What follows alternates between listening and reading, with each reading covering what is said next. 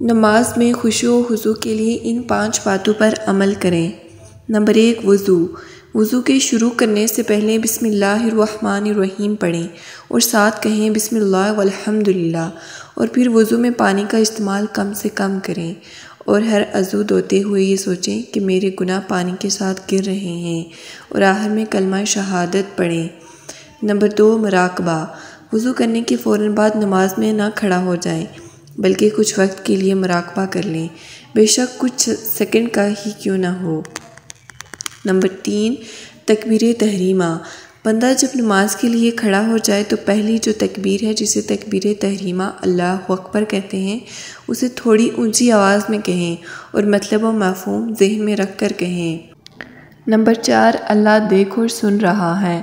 اس کے بعد ہر ایک رکن میں کراط قادہ سجدہ، تشہد ہر رکن میں کم از کم ایک مرتبہ ضرور ذہن میں لائیں کہ اللہ تعالیٰ دیکھ بھی رہے ہیں اور سن بھی رہے ہیں۔ اور اس وقت تک اپنی حالت نہ بدلیں جب تک ایک مرتبہ ذہن میں یہ بات نہ آ جائے۔ نمبر پانچ، سلام پھیرنے کے بعد۔ سلام پھیرنے کے بعد دل سے اللہ اکبر پڑھنا، منی و مفہوم ذہن میں رکھ کر۔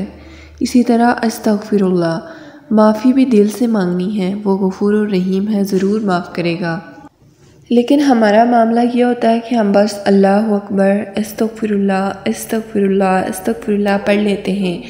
نہ نہ منی پتہ ہوتا ہے، نہ مفہوم، اور نہ ہی اس سے ملنے والی معافی کا ذہن میں ہوتا ہے۔ ہم نے صرف اور صرف فارمیلٹی پوری کرنی ہوتی ہے۔ انشاءاللہ اس عمل سے ضرور آپ کی نماز میں خوش و حضو آئے گا۔